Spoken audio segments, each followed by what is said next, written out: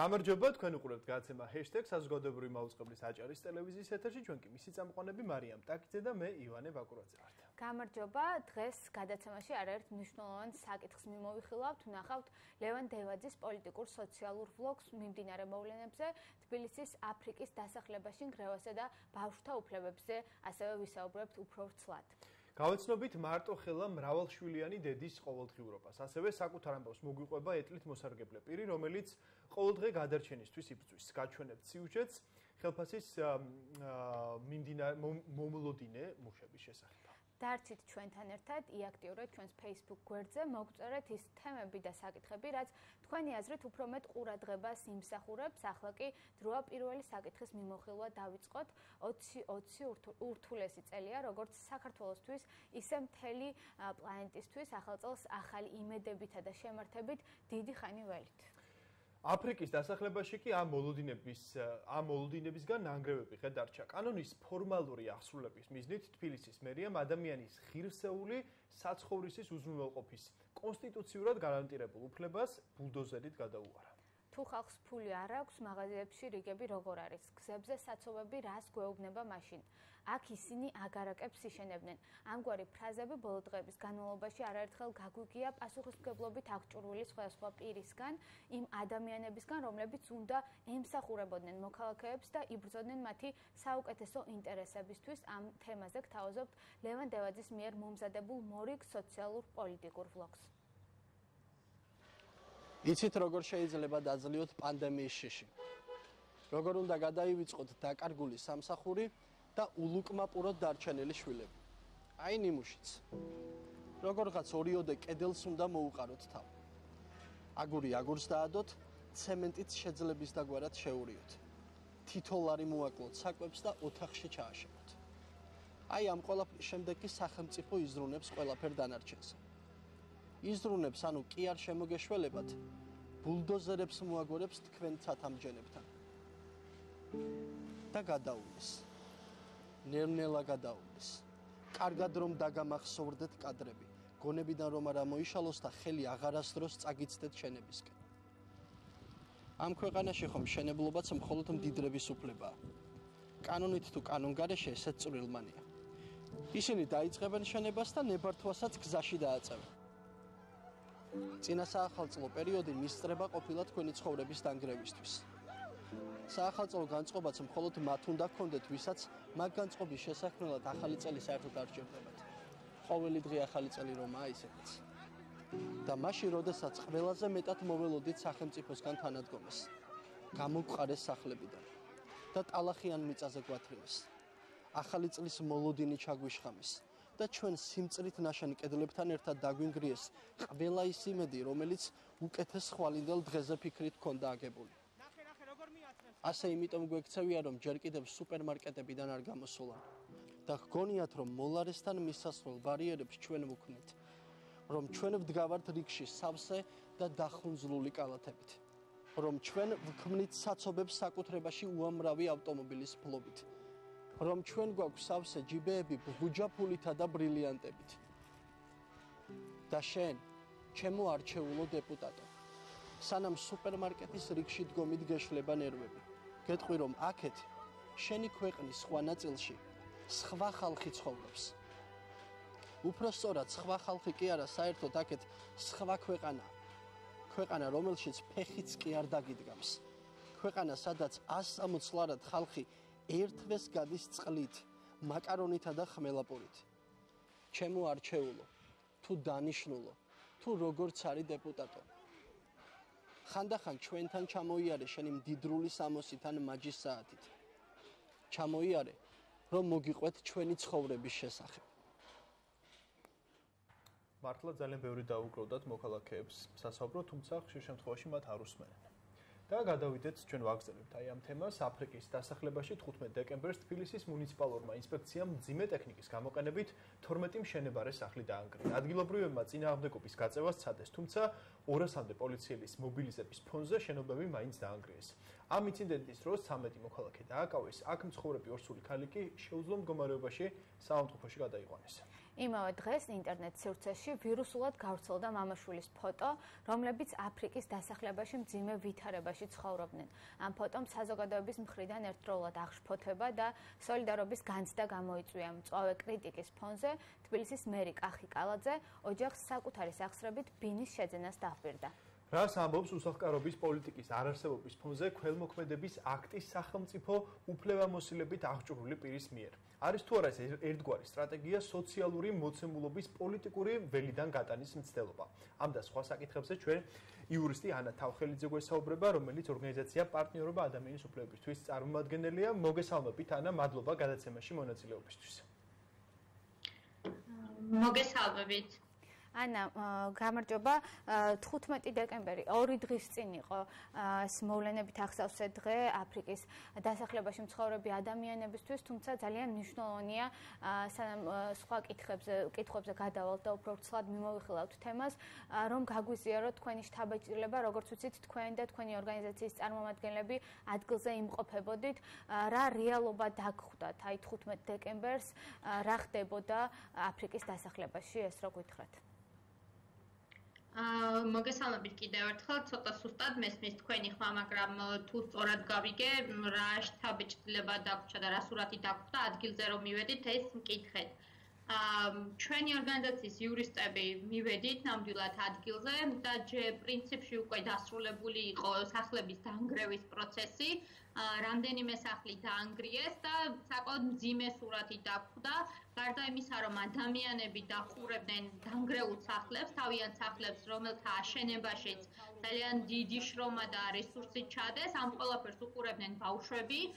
ეს ყველაფერი ხდებოდა მობილიზებული პოლიციელების ფონზე, რომლებსაც მუდმივი დაპირისპირება ჰქონდათ ადგილობრივ მაცხოვრებლებთან. ეს ხდებოდა ყველაფერი ბავშვების თვალწინ. რომლებიც იდგნენ ტალახში, სიცივეში, ნახევრად შიშვლები და რომლებსაც სახელმწიფო აბსოლუტურად არ აქცევდა ყურადღებას და რაც თავი ამბავშება უყურეს, როგორ ანგრევდნენ მათ სახლებს, სახლებს, სადაც ისინი ძალიან მალე უნდა გადასულიყვნენ.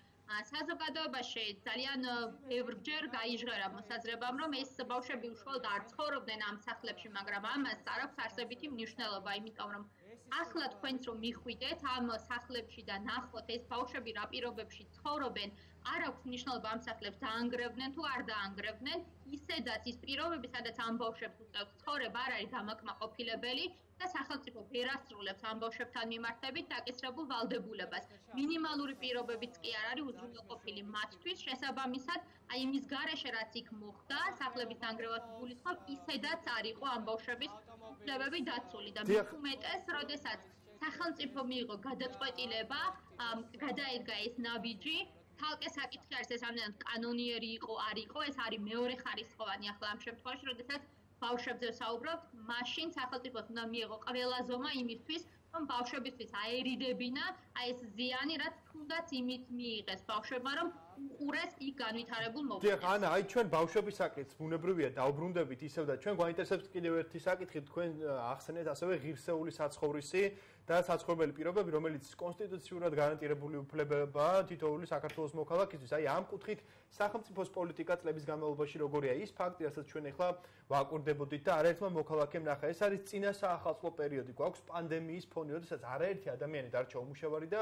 ფაქტობრივად შემოსავლის წყაროც კი არ აქვს და უკვე სახლიც კი აღარ აქვს შეიძლება ითქვას. აი ამ კუთხით სახელმწიფო როგორ უყურებს ამ ყველაფერს, უქმნის თუ არა იმ მინიმალურ პირობებს, რაც აუცილებელია არსებობისთვის მე ცხოვრებაზე აღარ მაქვს საუბარი უკვე. საქართველოსთვის ნამდვილად არ არის უცხო სიღარიბე და არ არის უცხო ის რომ ადამიანებს ადამიანები არ არიან საცხოვრისით უზრუნველყოფილი ეს არ არის ერთი კონკრეტული შემთხვევა და ეს არის სისტემური პრობლემა.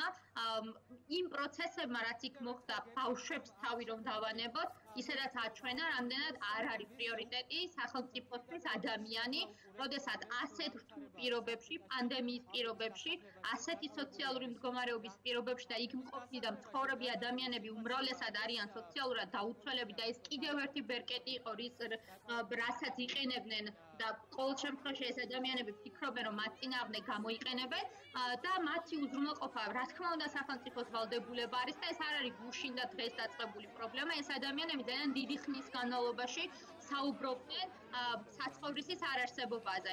რა თქმა უნდა, ეს არის სახელმწიფო ძალიან მნიშვნელოვანი გამოწვევა და ამ პრობლემას დიდი ხანია სახელმწიფო ვერ პასუხობს. არა მხოლოდ აფრიკის დასახლებაში, არამედ მთლიანად სახელმწიფოს მთელს ტერიტორიაზე.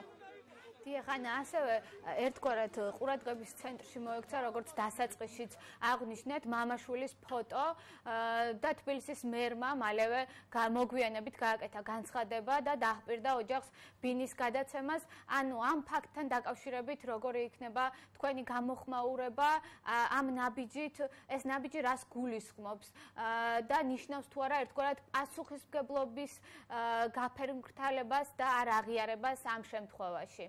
ინდივიდუალური ძღვენი, ასე ვთქვათ. ის ნაბიჯი, რაც ამ შემთხვევაში თბილისის მერმა გადადგა, კიდევ ერთი დასტური არის იმისა, რამდენად არის მის სახელმწიფოსი, სახელმწიფოს იმ ადამიანების, რამდენად ვერ ხედავს პრობლემის სიმწვავეს და სისტემურობას და რამდენად არაეფექტური არის სახელმწიფოს პოლიტიკა ამ პრობლემასთან ბრძოლის პროცესში. ის რაც მერმა გააკეთა ქველმოქმედების სახელით, ეს წერია კანონში და კანონის ძალით და ვალდებულებით მას უნდა გაეკეთებინა. სახელმწიფოს უნდა გაეკეთებინა არა მხოლოდ ამ ერთი ოჯახისთვის და ბავშვებისთვის, არამედ ყველა იმ ადამიანისთვის, ვინც არ არის უზრუნველყოფილი საცხოვრისით და ყველა იმ ბავშვისთვის, რომელსაც სახლი არ აქვს და მინიმალური პირობები არ აქვს ნორმალური განვითარებისთვის. ასე რომ, რასაც რასაც დაარქვეს სახელად ქველმოქმედება, ეს იყო კანონით მათთვის დაკისრებული ვალდებულება, რაც სახელმწიფო ბიუჯეტიდან უნდა გამოინახოს რესურსი და ამის რესურსი აქვს სახელმწიფოს და აქ არავინ ითხოვს, რომ კონკრეტულმა, არ ვიცი, დიდარმა ადამიანებმა, რომლებსაც ხელში პოლიტიკური ძალაუფლებაც აქვს, საკუთარი ჯიბიდან გაიღონ ქველმოქმედება და მოწყალება ადამიანებზე. მოწყალება არ ჭირდება არავის, ადამიანები იმისთვის ირჩევენ ხელისუფლებას, რომ იზრუნონ მათ ადამიანებზე და ეს ნაბიჯი კიდევ ერთხელ არის დასტური, იმიტომ რომ სახელმწიფო ვერ იაზრებს პრობლემის სიმწვავეს და ვერ ებრძვის ამ პრობლემას ეფექტურად. დიახ, ან საინტერესო ასევე ერთი ძალიან მნიშვნელოვანი საკითხი თქვენ სწორედ ისაუბრეთ იმის შესახებ, რომ ამ შემთხვევაში ხელისუფლებაში ყოფი ადამიანები, რომელსაც მაღალი პასუხისმგებლობა აქვს და მათი ყოველი ნაბიჯი სარგებლობს თქვა ძალიან მაღალი საზოგადოებრივი ინტერესით, ჩვენ გვახსოვს რომ ეს კონკრეტულად კახაკალძის პირველი ეგეთი ნაბიჯი არ არის, ჩვენ გვახსოვს ასევე აი დინამოს თამაშთან დაკავშირებით თამაშთან დაკავშირებით კონკრეტულ თამაშთან დაკავშირებით ასევე ჯარიმის გადახდის საკითხი და თქვა ასევე ფეხბურთის თამაშის დროს თქვა ამხანაგური თამაშით რაღაც საკითხების მოგვარება ხო? ანუ ეგეც საზოგადოებას ახსოვს. საინტერესოა თვითონ სახელმწიფოს თქვენ საუბრობთ ის პოლიტიკაზე რომ სახელმწიფოს ჭირდება ქმედითი უნარები რომ ერთხელ და საბოლოოდ თქვა ადამიანის უფლება რომ კონდეს ღირსეული საცხოვრისი გახდეს რეალიზდეს ეს უფლება და ეს მხოლოდ არ იყოს კონსტიტუციური ჩანაწერი. აი ამ საკითხთან დაკავშირებით თქვენ ბოლო წლების განმავლობაში რას აკვირდებით და რეალურად თუ ხდება და თუ ხდება მინიმუმ დისკუსია ან თუნდაც ხელისუფლების დონეზე სწორედ ამ თუნდაც ამ პრობლემის აღიარების საკითხიც თუ დგას დღის წესრიგში. აუ ძალიან დიდ ბოდიშს ვიხდი. კარგად არ მესმის თქვენი ხმა და ვერ გავიგე შეკითხვა. დიახ, ანა, გვაინტერესებს ის პრობლემა, რაც არსებობს საცხოვრისთან დაკავშირებით და ზოგადად ღირსეულ საცხოვრისთან აღიარებს თუ არა ამას ხელისუფლება, როგორც ცდილობს, რომ თქვა ამ შემთხვევაში გადაიტანოს სხვა მიმართულებით საკითხი და რა კეთდება ზოგადად, რომ ეს პრობლემა თქვა აღმოიფხროს.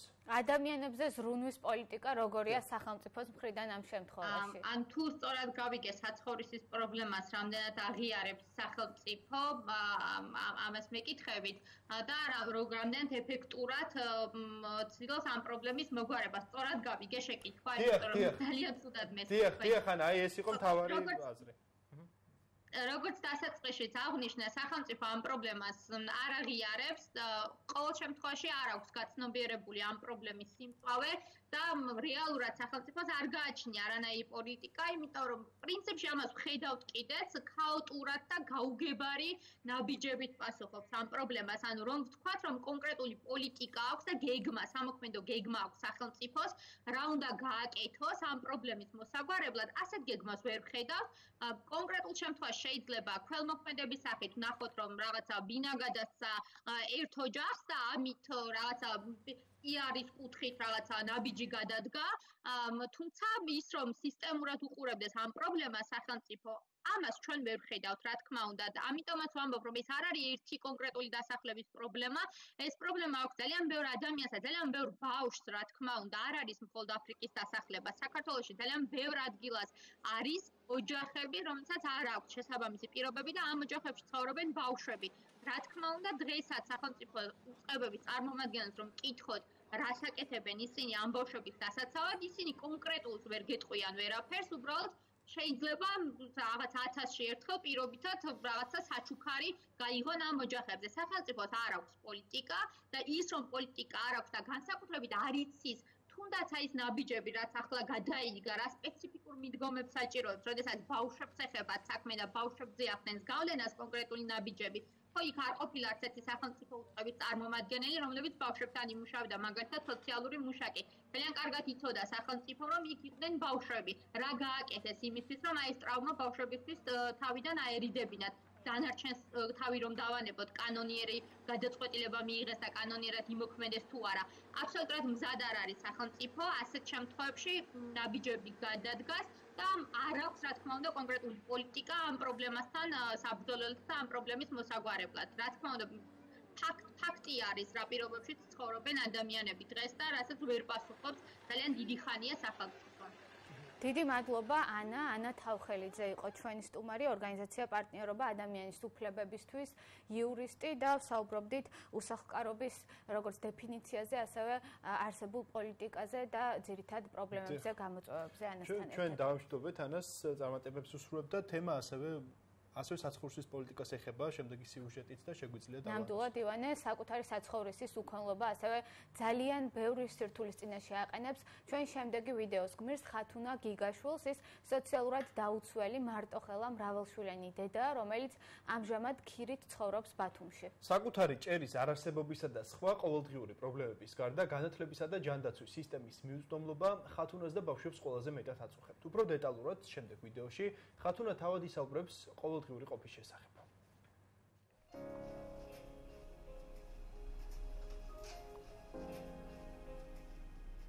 ხათუნა გიგაშვილი, ვარ მარტო ხელადე და ყავს 6 ბავშვი, 3 ჩემი, 3 დაძმა. 6 არასრულწლოვნები. დედა გარდაცვლილი მყავს, მე 6 წელია უკვე მე ვსდი ფაქტურად დაძმებს. მათი პატრონი მე ვარ, ან ბებია ბაბუა, არავინ არ ყავს, მყავს მე. ვიღებ მხოლოდ სოციალურს, 460 ლარს, ქირაში ვიხდით ჩება 10 ლარი. და 150 ლარი მაქვს ბავშვის ვაუჩერზე, კვების ბარათზე და ეხა 5 ბა 6 ბავშვი 150 ლარი თვითონ თუნდი არ ყოფნის არანაირად. და მაქვს მხოლოდ მარტოხელა დედობის 120 ლარი. სიო, ესაა შემოსავალი, მეტი არაფერი. ცოტა პრობლემა იმის გამო გვაქვს, რომ ხაზეიკები არ ვიღებს ეხა 6 ბავშვიანი ქირაში. სულ ქუჩაში ვერ იმიყო, ლაურთვიში ბინას ვერ შეიცვლი, მალა ორი მყავს ვამბობ და 4 მალა ფაქტიურად, რომ არაა ჩემი თუ უცებ მოვიდა რაღაცა, ვამბობ რომ სტუმრათა.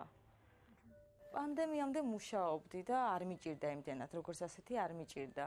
დამლაგებათაც მუშაობდი, ბარმენიც ვიყავი და ეხლა როცა პანდემია შემეხო, უკვე მუშავარი ისეც დავრჩი, ფაქტურად მეექვსით ორი თვისა და ვეღარ ვახერხებ ვერანაირი მუშაობას და ვერაფერს. ღამე მღვიძავს ფაქტურად, ხან მორიელი მხდება და ხან თაგვი რომ ბავშვებთან არ უკმინოს. ღამე მღვიძავს. დღისით ისიც თუ წავიცინე ესაა თუ როგორც ასეთი არ მძინავს რომ მეშინია მაინც ეს პატარა ბავშვმა დაინახა საწოლზე ღამის 2 საათი კიბის რომ შავი რაღაცა დარბის ავანთეჩუკი მორიელი. ну ესეთ ძალიან ცუდ სიტუაციაში ვარ სხვა გარონახობინა არ შეგიშვებს. მე ფასები აქვს 600 700 და ხა 700 და 600 ნახოთ ვერ გადავიხდი იმიტომ რომ არ მაქვს მაგის საშუალება.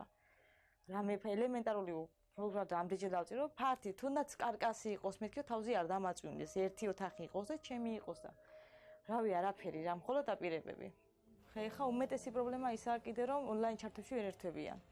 გვაქვს ძალიან დიდი პრობლემა მაგაში რომ ერთი ტელეფონით ხუთი ბავშვი ვერ შევა ვერანაირად. შევა ერთი. გუშინ წინ მირეკავს სოცმუშაკი და მეკითხება რომ სკოლიდან დამირეკეს რომ ბავშვები ვერ ერთვებიან ონლაინში და გაფრთხილებული ისეც მყავდა მასწავლებლები. აი ჩემი ისტორია გადაგზავნილი მქონდა რომ ვარ ქირით მეთქი და ერთი ტელეფონით ვერ შედის ბავშვები მეთქი და ცოტა დრო რაღაცა მეთქი რომ შეიძლება რაღაცა გამოჩნდეს რომ ელემენტარული კომპიუტერიან ტელეფონი უყიდო მეთქი. გახარია ხო დაურიგავ და გახარია რომ დაურიგა არ იყო ნათქვამი რომ ის იყო უყიდე ტელეფონების იყო ჩაცმ ბავშვის სკოლის ფული. მაშინო სოც სოცმუშაკი ბავშვებსო წაიყვანს და რა როგორ თუ წაიყვანს მე ამდენი წელია ეს ელემენტარულ მშიერიან ყავს და მწყურვალიან ყავს და ხუთი ტელეფონი რო იყიდაო და ხუთი ტელეფონი როგორ მიყიდა მაქსიმუმ 200 ლარიანი 1000 ლარი ჯდება ხუთი რო იყიდო და 1000 ლარის ტელეფონი რომ მიცე მე იმას მეტყვიან დახმარება გეხსნება იმიტომ რომ 1000 ლარი ქონია რომ ტელეფონები გიყიდენო ესეთი ისაა თორე ელემენტარული ისეთი არაფერი თუ როგორც ასეთი ბავში სახში თანმიმდევრობით სწავლობენ. უბრალოდ ვერ ერთვებიან თიმში. ფაქტურად არიან სახში გამოკეტილი არც ტელევიზორი არც არაფერი არც გართობა მარტო აზიან ბავშვები. ახლა ტელევიზორი დიდი ვერ გაძლევს ელემენტარულ რაღაცა გადაიხედოს და რაღაც ინტერესი მაინც კონდეს ბავშვს. ტელევიზორის კი არა აქვს ბავშვს 29 წლის ასაკში 6 ბავშვი და ნუ 6 წელია უკვე ჩემ თავზე მაგ და ელემენტარული არაფერს არ ვაკლებდი როცა მუშაობდი და მქონდა და ეხა როცა სახში დავჯექი უბრალოდ ჭამას ეხაც არ ვითხოვ აი გინდა არ გინდა აი მე მშია და ვკრები არაფერი. მაკარონითაც გაიტანებენ თავს თვიდან თვემდე. გაუძებენ არ არიან ისეთი მოთხოვნები. უბრალოდ ერთადერთი ამათი სურვილი არის რომ ბინა კონდეს რაღაცა. ну აი ყველას აქვს კლასელები მიდიან მოდიან ამას ვერ მოყავს ვერავინ ვერ მოყავს სახში. აი სამეგრობო ვერ მოყავს იმიტომ რომ ფაქტურად დამპალია პოლიცია ქვევით ვინც ცხოვრობს იმან მიხარო აი წინა იმაზე ჩავარდა. იქეთ ოთახში რო დადიხარ უკვე მე რიყეოს მე არასტანდარტულია ოთახები კედლები დაბზარულია. სიცივეცა უბრალოდ ეს ოთახითება თორე ყველა მხრიდან ქარი შემოდის იქეთ კედლები დატეხილია წვიმა ჩამოდის აქედან აქედან და აბანოშიც ჩამოდის წყალი. ელემენტარულ ბავშვს რამე რომ დამჭირდეს ან გადასხან რაღაც და არ ამაქვს საშუალება არავინ არ მიიღებს ეგრევე როგორც კი შედიხარ, თავში გთხოვენ, გადაიხადეთ და ჩეკი მომიტანეთ. სოციალური აღარა ფინანსის უფასო არაფერი გეკუთვნის და ნახევარფასათო და ფაქტობრივად ვერ წავიყვანე ჯერ ნერვათა ლოგთან. აი, არაფინანსებს ელემენტარული გადასხმა თუ რაც არის, არაფერს არაფინანსებს, ერთადერთი არის სისხლის ანალიზი უფასო და ვსიო. დანარჩენი სულ ყველაფერი ფასიანია. ქირიდან ქირაში სამთარი რა იქნება, კიდე არ ვიცი. აი, გადასახადებს კიდე სულ სხვა გვიხდის, აი ინტერნეტიდან გოგუები და ისინი აი ხო არის დავეხმარებით გაჭირვებს რაღაცა, აი მათ რაღაც იქნება. ეხა წელს დაგვიფინანსდა 93 ლარი იყო დაწერილი, მაგრამ შემდეგ რა იქნება, არ ვიცი, ვიყავით უშუქოთ რამოდენიმე დღე, უგაზოთაც ვიყავით რამოდენიმე დღე. და გადავიტანეთ ღმერთს მადლობა. აი ამ ეტაპზე ყველაზე მთავარი მინდა რომ ჯერ პირველ რიგში თიმში მაინც ჩაერთონ ბავშვები, რომ უსწავლელი არ დამჩეს. რომ მაგიმინდა პირველი და მე რა ვირა თუ კი თავში საფარი მექნება რაღაც ისეთი რომ ჩემი იყოს და თუნდაც 40 კვადრატიც იყოს ან 30 იმასაც მოყოფილი ვარ რომ მე კაი არ დავიზინებ მაინც დავდგები და ოღონდ აგენმა მაინც დაწვეს და დაიცინოს რომ დღეს ვინმე არ მეტყვის რომ ამდენი ბავშვები ყავს და დამიცალებინა არის ძალიან ბევრი აი ბევრი ბინა დავცალე მაგის გამო რომ აი მეზობლებმა ბავშვები ყავსო და მე ბავშვებიანი არ მაწყობსო ის არ მინდაო რამდენიც გადავრეკე და ბინის ქირა ვნახე მეთქი ბინა რამდენში აქირა ეგრევე რამდენი სული ხართ მე და ბავშვები აი დაუმალე ფაქტობრივად მე და ორი ბავშვი თქვი და გამიტიშეს ტელეფონი არ მინდაო.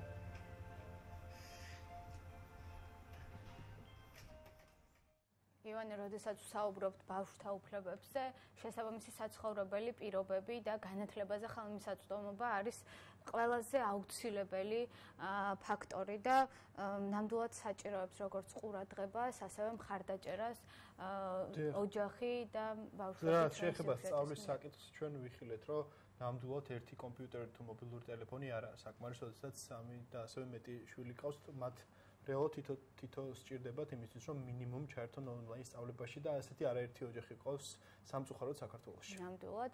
უნდა გადავიდეთ შემდეგ თემაზე თანასწორობა სპორტში არის შემდეგი თემა. გასული თვე საკმაოდ დატვირთული იყო ფეხბურთის გულშემატკივრებისთვის გამორჩეულად დასამახსოვრებელი იყო ქალთა საფეხბურთო კლუბ ლანჩხუთის ისტორიული შედეგი როდესაც ცნობილი გახდა რომ ისინი ჩემპიონთა ლიგის ჯგუფურ ეტაპზე გადავიდნენ. გამარჯვება ნამდვილად სასიხარულო იყო თუმცა ერთგვარად ინდიკატორიც. დიახ ინდიკატორი და მამხილებელი მსირთულეების ბარიერებისა და ყურადღების დეფიციტისა პროცესია, რომელსაც ფეხბურთელი გოგონები და ასევე სპორტის სხვადასხვა სახეობაში ჩართული ქალები ყოველდღიურად განიცდიან ხოლმე. და მარიამ ტაკიძე და ნათია ქარჩილაძემ თემატური ვლოგი მოგვიმზადა და ისინი შეეცადნენ რომ თანასწორობის საკითხში სპორტ საკითხის სპორტში უფრო სხვადასხვა მიმართულებით და კონტექსტით დაგვენახა. გამარჯობა. ამ ვიდეო ბლოგის ფარგლებში მე და ნათია სურს ვისაუბროთ გენდერული თანასწორობის საკითხზე, როგორც ფეხბურთში, ასევე სპორტის სხვადასხვა მიმართულებებში. მოგეხსენებათ ის, რომ ნოემბერში ქალთა საფეხბურთო კლუბი ლანჩხუთი ჩემპიონთა ლიგის მე-16 ფინალში გავიდა, რაც არა მარტო ქალთა კლუბების ისტორიაში, არამედ ქართული კლუბების ისტორიაში პირველია და მათ არ გააჩნდათ ბუცები, ელემენტარული სათამაშო პირობები, 4 თვის განმავლობაში ხელფას ვერ იღებდნენ და მთელი ის პრობლემები წარმოიჭრათ წინ, რაც წლების განმავლობაში გროვდებოდა და ნუ ვერ ვერ ახდენდა სათანადო არტიკულირებას ვერავინ საჯარო სივრცეში და გვინდა რომ ამ თემაზე ვისაუბროთ. სათავეები სავარაუდოდ ისევ და ისევ იმ სოციალურ და კულტურულ კონტექსტში და აღზრდის მეთოდებში უნდა მოვიძიოთ, რისი მატარებელიც არის ჩვენი საზოგადოება და რასაც ყოველდღიურ ცხოვრებაში სხვადასხვა სფეროში განვიცდით. გოგოებს მაგალითად ყოველთვის გვეუბნებიან რომ სპორტი და განსაკუთრებით კაცები დომინირებული ფეხბურთი ჩვენი საქმე არ არის. ეხლაც როცა ამ სტადიონზე ვიმყოფებით, ანუ ჩვენ წინ თამაშობენ მამაკაცები, ან საჯარო სივრცეში გოგოები საერთოდ არ ჩანან. გვიწევს იმის მუდმივად იმის მტკიცება, რომ ჩვენ საჯარო სივრცეში ჩვენ გვეკუთვნის ფეხბურთის თამაში და ეს არ არის რაღაც ეს გარკვეული პრივილეგიაა და გარდა იმ წინააღმდეგობისა, რაც შეიძლება სპორტსმენს სპორტული კარიერის განმავლობაში ჰქონდეს, ჩვენ ამ წინააღმდეგობების გადალახვაც გვიწევს. გვიწევდა და ალბათ მომავალშიც მოგვიწევს. ბაღებში და სკოლებში რომ მიმოვიხილოთ როგორია დამოკიდებულება სპორტის გაკვეთილების მიმართ ერთის მხრივ და შემდეგ უკვე რამდენად თანაბრად არის გადანაწილებული ყურადღება გოგონების სურვილებსა და ბიჭების სურვილებს შორის? რა თქმა უნდა საქართველოს ასევე ძალიან მნიშვნელოვანია ის ინფრასტრუქტურული პრობლემები რაც სხვა სხვა რეგიონში სკოლებს ახასიათებს. თუმცა ამ პრობლემების გარდა არის მთელი რიგი სოციალური მოლო მოდინები და стереოტიპული ხედვები თუ ვის უნდა ეკუთვნოდეს მაგალითად საჯარო სივრცე ამ შემთხვევაში მოედანი, ვინ უნდა თამაშობდეს და ვინ უნდა დაუთმოს უფრო მეტი ყურადღება მაგალითად გაკვეთილებს. განსაკუთრებით მნიშვნელოვანია ის, რომ ანუ ეს პრაქტიკები და ეს ეს პრობლემები, რასაც გოგონები აწყდებიან, ქალები აწყდებიან სპორტში, ანუ საქართველოსთვის ექსკლუზიური და ახალი არ არის, თუმცა ისეთ ქვეყანაში როგორც საქართველოა, სადაც ნუ გარდა სოციალური და კულტურული პრობლემებისა, გვაქვს ეკონომიკური პრობლემები. იგივე ლანჩხუთს რო დაუბრუნდეთ, ფინანსურად არაფერი არ გააჩნიათ, არც ინფრასტრუქტურულად, ჩვენ გვახსოვს მაგალითი რომ ჯანო ანანიძე დაეხმარა ამ გოგონებს ბუცებიც კი არ ქონდათ დაეხმარა თუმცა ეს ქველმოქმედება რა თქმა უნდა დასაფასებელია თუმცა ჩვენ ხვდებით იმას რომ ეს არ უნდა იყოს ეს ქველმოქმედებაზე დამოკიდებული. აი როსენგარტთან რომელთანაც მათ პირველი თამაში ითამაშეს მათთვის ფეხბურთი არის პირველი პროფესიული საქმიანობა ლანჩხუთის გოგონებისგან განსხვავებით, რომელსაც მაგალითად უწევთ კიდევ სხვა პროფესიების პროფესიებით მუშაობა, რადგანაც მათ უბრალოდ ხელფასი არ გააჩნიათ და არსებობისთვის ბრძოლაც უწევს. ფეხბურთის კიდევ უფრო კომერციალიზაცია ხდება. იგებს ის ვისაც მეტი ფული აქვს, ლანჩხუთის ეს ეს მოგება, ეს გამარჯვება და ეს მიღწევა არის რაღაცა გამონაკლისი და რაღაცა გამონათება ჩვენი ქართული რეალობისთვის. როდესაც ვსაუბრობ უთანასწორობაზე, სპორტის სხვა სხვა სახეობაში უთანასწორობა შეიძლება წარმოჩენილი იყოს როგორც ქალების და კაცების არათანაბარი მონაწილეობით სპორტის სხვა სხვა სახეობაში, ასევე შეიძლება წარმოჩენილი იყოს სპორტულ ორგანიზაციებსა თუ ფედერაციებში ხელმძღვანელ და გადაწყვეტილების მიმღებ პოზიციებზე ქალების არსებობა ან საერთოდ არ არსებობა და ასევე ძალიან მნიშვნელოვანი ფაქტორია მედიის მედია გაშუქება. რამდენად არის, ვთქვათ, თანაბრად გამოყოფილი დრო იმ სპორტის სახეობების მიმართ, სადაც ქალები მონაწილეობენ ძირითადად ან კაცები დომინირებენ, ასე ვთქვათ. ფიზიკური განვითარება გოგონების ბევრად ჩამორჩება ბიჭებისას. არა არა ეს იმით არ არის გამოწვეული, რომ კუნთოვანი მასა ბიჭებს უფრო მეტი აქვს და ასე შემდეგ. ეს იმის არის გამოწვეული, რომ მაგალითად ჩვენი ჩვენ მიმართ მოლოდინები სულ სხვანაირია, მაგალითად იგივე ოჯახში, სადაც მამები და დედებისგან ჩვენ მიმართ მოლოდინი არის ის, რომ ჩვენ აუცილებლად არ გავხდებით ფეხბურთელები, ჩვენ აუცილებლად არ გავხდებით კალათბურთელები და ეს მოლოდინები შესაბამისად ქმნის იმას, რომ მასობრივად გოგონები არ არიან ჩართულები სპორტში. მე მინდა გავიხსენო ლანჩხუთის მეკარე გაბუნია, რომელმაც მიუხედავად იმისა, რომ დიდი ანგარიში წააგეს გოგონებმა, 21 სევი გააკეთა, რაც მეკარისთვის არის ერთგვარი რეკორდი და ჩემი აზრით ასეთი გოგონები ქმნიან, ანუ ჩვენ რეალობას ასეთი გოგონები ცვლიან ისტორიას. სხვა სხვა მონაცემის თანახმად, გოგონები დაახლოებით 14 წლისთვის ფეხბურთის თამაშს თავს ანებებენ და ამას შეიძლება ძალიან ბევრი მიზეზი კონდეს. ერთი და მთავარი უპირობოდ არის სოციალური სტიგმა და ის განწყობები თუ ის სტრესი, რაც ახლავს საქართველოსში გოგონებისთვის ფეხბურთის თამაშს, ეს არის დამოკიდებულება ოჯახის წევრების მხრიდან, მეგობრების მხრიდან, თუ უბრალოდ ნაცნობ მეზობლების მხრიდან.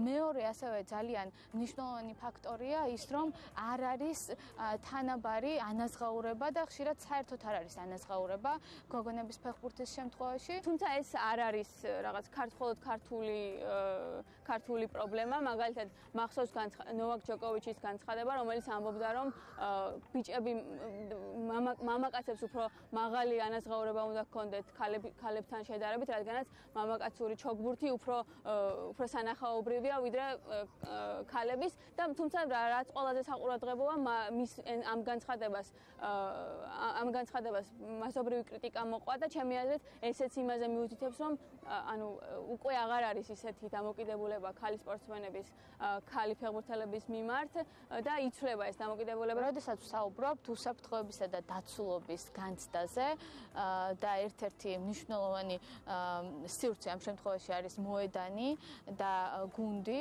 სპორტული გუნდი ერთ-ერთი გახმაურებული საქმე ბოლოთოების განმავლობაში არის სექსუალური შევიწროებისა და ეთნიკური ნიშნით დისკრიმინაციის საქმე. კარგია, რომ ამ თემაზე ასე ხმამაღლა დაიწყეს საუბარი გოგონებმა, რადგან რადგან ხშირად სწორედ ეს ხდება მიზეზი თუ რატომ ანებებს ძალიან ბევრი გოგონა ფეხბურთის თამაშს ან სპორტის სხვა სხვა სახეობას თავს, იმიტომ რომ ვერ საუბრობს სექსუალური შევიწროების იმ ფაქტებზე, ან ფსიქოლოგიური, ფიზიკური თუ სექსუალური ფიზიკური ძალადობის იმ ფაქტებზე, რასაც განიცდის თვითონ ან თავისი თანაგუნდელი ლანჩხუთის გოგონების გოგონა ფეხბურთელების მაგალითი იქნება იმედი მაქვს რომ იქნება ბევრი გოგოსთვის რაღაცა ფიძგის მიმცემი. მათი ადგილი არის ამ ამ ცირცეში და მათ უნდა მოითხოვონ ეს ადგილი პირველ რიგში იმიტომ რომ სხვა გზა სხვა გზა არ გვაქვს. თუ თავად ქალები არ შეცვლით ამ რეალობას სხვა სხვა სხვა უბრალოდ ამას არ გააკეთებ სწორედ ეს არის მთავარი, რომ მიუხედავად ამ წნეხისა, სტრესისა, მაინც ვიპოვოთ და იპოვონ გოგონებმა დამატებითი ძალები, რომ გაყვნენ თავიანთ სურვილებს და აუცილებლად მიაღწევენ წარმატებას, აუცილებლად როდესაც იციან რის კეთება უნდათ, აუცილებლად იპოვიან შესაბამისად ადგილებს, უბრალოდ გარემოც უნდა იყოს შესაბამისად უსაფრთხო, შესაბამისად დაცული, შესაბამისად თანასწორი, უნდა მიუწვდებოდეთ ხელი ყველა იმ ტექნიკურ, ფინანსურ თუ სხვა სახის სიკეთეებსა და სარგებლობებზე, რაც უპირობოდ არის განკუთვნილი და გამოყოფილი ბიჭი, კაცი სპორტსმენებისთვის. ეს იყო ჩვენი ბლოგის პირველი თემა, ქალთა ფეხბურთი, ქალთა სპორტი. იმედი მაქვს, რომ შემდეგ შემდეგი ასეთი საუბარი იქნება უფრო პოზიტიური და უფრო ნაკლები პრობლემებზე მოგვიწევს საუბარი და უფრო ხელშესახები ცვლილებები გვექნება გოგონებო გისურვებ წარმატებას და იმედი მაქვს რომ ამ სტადიონზე უფრო მეტი გოგონა და ყველა სტადიონზე უფრო მეტი გოგონა ითამაშებს ფეხბურთს. ვაგრძელებთ პანდემიის შედეგად ქვეყანაში არსებული მწვავე პრობლემებზე საუბარს. პანდემიას ძალიან ბევრი ადამიანი სამსახურის და ერთადერთი წყაროს გარეშე დატოვა, თუმცა არიან ადამიანები, რომლებიც ლუკმა პურის საშოვნელად წლებია იბრძვიან კაცრ პირობებში.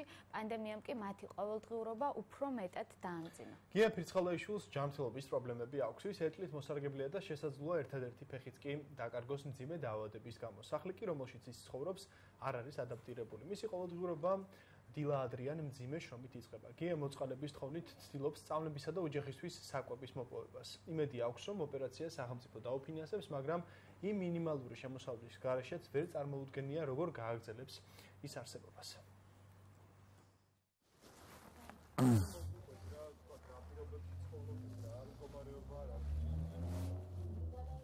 ჯამით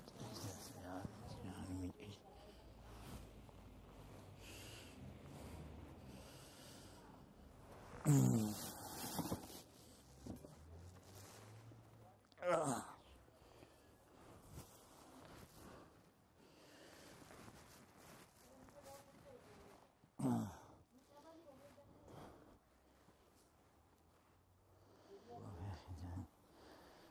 მტკივა ვერ გავაჩერა დღეს ვერაფერი რა ბატონო გიო მოდი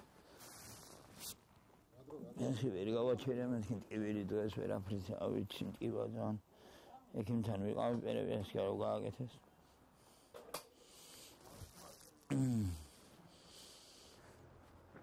ანუ ისკენ გამოდივარ ახლა და რაღაცა ერთი საათი რაღაცა ჩერდები რა ვქნავა და აი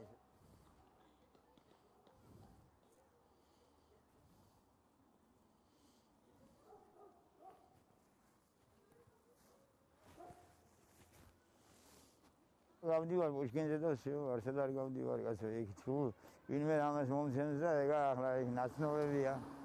ნაცნობებია რაღაცას მომცემენ და всё მე არავის არაფერს არ ვთხოვ და არ დავზევ და მანქანებში რო უხდებიან და რაღაცა ისე მე არ ვაგეთებ. მა დღეში რა, ახლა აჰა, გასკიდე 20-25 ლარი რაღაცას ნახავ რა, თუ გაჩერდები ის ის ამ რა რავი რაღაცა ბავშვებია რაღაცა და საქმელი ხო უნდა და რაღაცა წკიდულობ რა რა გამანა რა გასანაწილებელი რა ვიცი რაღაცა წკიდულობ რა. მედიკამენტების ყიდულობ ხო ახლა მაგალითად დღეს საკიდელი მაგერთი წამალი მოდი მივასვა მაგას ასპირინ კარდიო რაღაცა რვა და რაღაცა ღირს თლიანი თუ რაღაცა და მეუღლე აღარ მუშაობს რავი აღარ აი გაჩერდნენ ხოფაზე მუშაობდა და გაჩერებულია და რა ვიცი. არა, რა გავჩერდები. ფეხი, ფეხი ძალიან გივა უკვე. ასპლაჯობია ეს. მე გავჩერდები. სიცივემ გააბუჭა რა. მე არ ვიცოდი მაგიდა ასე რომ მქონდა. და ვაფშე იგია დაე. სულ ღია ასე. вообще ჩაასისხლიანებულია სულ ჩაიგე და რა ვიცი ა ორსამ დღეს დამაწვინა უნდა და არ ვიცი გავწვინდავთო თუ რამე ეშველა თუ არა და აგის მოსაჭრელია მერც მადლობა რაღაცა 500 ლარია ეს ის ხან წამაწვინო ხან პორწყიდულო რაღაცაში შველის და ეგა და რა უქნა სულ არა უბას ზარა ყანყოფილი რა რა რა ვიცი რა გითხრათ ისეთი არაფერი რა ვიცი აა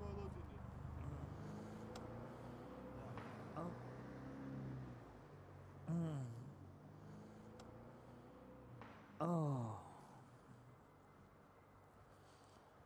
აჰო ფუ გულზე უტყანს პირდაპირ რა ეს რა მოლოდინი რა ვიცი რა ორი არა ვიცი რა მოლოდინი მა ასველოდები კარგს არაფერ ჯერჯერობი და ნახოთ ერთი ეს ფეხი მინდოდა ცოტა ხანს ყოფილიყო კიდე ტუალეტში მაინც შევდიოდი ჩემი და ახლა მე ვინ უნდა მატაროს ასე ვინ მატარებს მე ყოველდღე? და რა ვიცი ამა რა ვქნაზე არ ვარ. ნახოთ რა იქნება არ ვიცი. რა მოლოდინია. მმ მმ მმ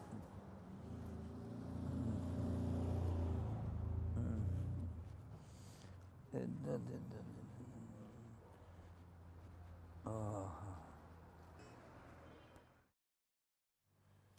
15 მუშა კუთვნილ ხელფასი თხოვს ისინი კომპანია ლაბაუ გონიოს 16 სართულიანი სასტუმროს მშენებლობაზე გონიოში ყავდა დაქირავებული. კომპანია ამბობს რომ მუშები საქმეს სათანადოდ ვერ ასრულებდნენ რის გამოც ისინი დაჯარებდნენ. დასაქმებულები თავის მხრივ ამბობენ რომ ეს მხოლოდ საბაბია რადგან მათ არ სურთ 27000 ლარის გადახდა. დასაქმებულების ინტერესს საქართველოს ახალგაზრდა იურისტთა ასოციაცია იცავს მუშების პრობლემების შესახებ უფრო მეტს გიორგი არობელიძის სიუჟეტიდან გაიგებთ.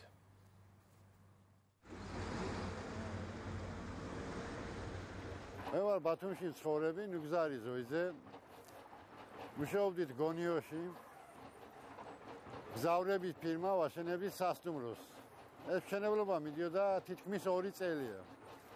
წამდა გჯეროდა რომ მდგომარეობა გამოსწორდებოდა დრო-დროზე იქნებოდა ყველაფერი მაგრამ საშველი არ დაადგა და ბოლოს იქამდე მივიდა საქმე რომ 15 კაცი ობიექტიდან გამოგვიშვეს. ანაზღაურების გარეშე რა თქმა უნდა. ну ახლა ჩვენ ვითხოვთ ამ ფირმის ხელმძღვანელობიდან რომ დაგვიბრუნონ ჩვენი ფული ჩვენი ანაზღაურება რაც გავაკეთეთ. ჩვენ მარტო 15 კაცი კი არა, 15 ოჯახი დარჩა თითქმის ულუკმაპუროდ დღევანდელ პირობებში ყველასთვის ერთ ლარსას დიდი მნიშვნელობა აქვს. ზოგს ავატყოფი ყავს, ზოგი ქირითა, ზოგს ბევრი პრობლემები.